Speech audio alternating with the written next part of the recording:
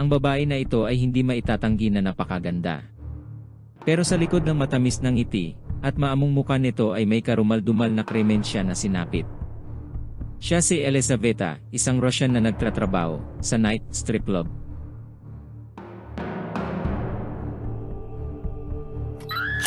Siya ay kinatay at pinugutan ng ulo, pinutulan ng mga kamay at mga paa. Maging ang kanyang maselan na parte ng katawan ay tinanggal din. Matapos siya na pagpira-pirasuhin ay hinulog ang kanyang katawan sa labing dalawang palapag. At sa ibaba, ay may mga naglalaro na bata, takot na takot ang mga bata sa kanilang nasaksihan. Ang unang tinapon ay ang kanyang damit na may bahid ng dugo. At sumunod ay ang ulo at katawan neto mula sa balkonahe, at ang isang lalaki na pinaghihinalaan na gumawa nito ay 38 na gulang, ay naiulat na ito ay kanyang boyfriend. Kaya naman ay pinasok at winasak ng mga kapulisan ang pinto ng apartment upang arestuhin ang isa sa labinlima na lalaki na witness.